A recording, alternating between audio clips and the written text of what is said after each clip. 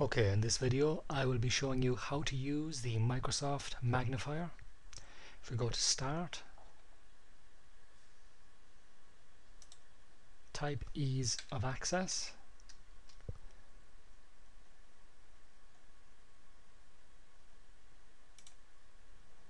and here we are. If you click on Start Magnifier, Now you can go in and change whichever views you wish. If you want to have full screen as it is now, if you wish to have it as a lens,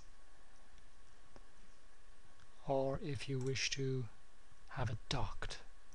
I'm going to go back to full screen.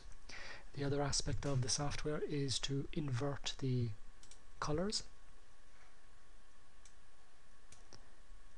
Turn on color inversion and there you have it if you want to increase the magnification there's it's that. And that is the end of this video tutorial. Thank you for watching